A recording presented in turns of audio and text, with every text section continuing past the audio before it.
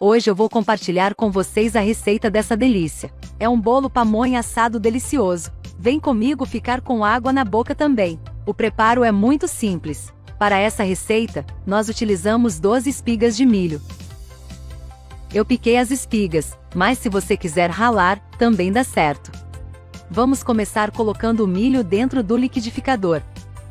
Em seguida, adicione 3 ovos inteiros. Adicione uma xícara de açúcar de 240 ml, mas você pode adoçar ao seu gosto, com leite condensado, ou açúcar especial que você tem na sua casa. Acrescente 3 colheres de sopa de manteiga ou margarina. Vamos acrescentar também meia xícara de leite. Coloque um pouco agora e depois o restante. Vamos bater até ficar uma massa bem homogênea. E já deixa aqui embaixo a cidade de onde você está acompanhando esse vídeo. Eu gosto muito quando vocês interagem conosco. Então me conta aí nos comentários. Vamos adicionar uma colher de café de sal.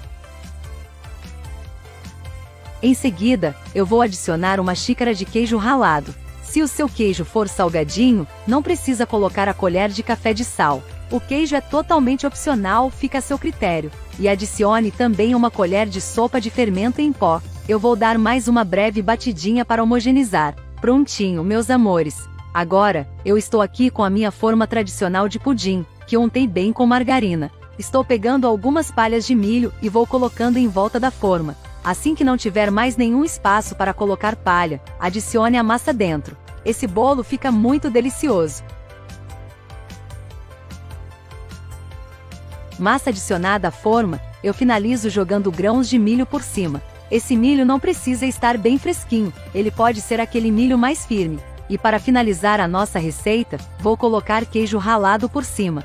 Vamos levar para o forno pré-aquecido a 150 graus. Quando estiver douradinho, você faz o teste do palito. Se sair sequinho, seu bolo está pronto. O meu bolo ficou 30 minutos no forno a 200 graus. Pessoal, o cheiro está maravilhoso. Essa receita é um sucesso em Goiás.